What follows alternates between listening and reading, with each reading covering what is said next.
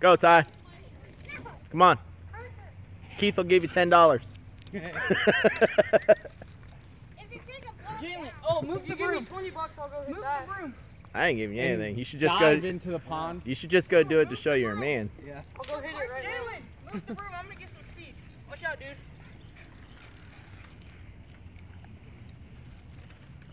Why don't you go to the top up by the house, come down the sidewalk, drop off that cheap ramp you tried to make, and then hit it?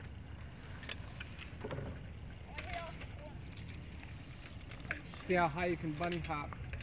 Right now? Yeah. We could pass to the freaking.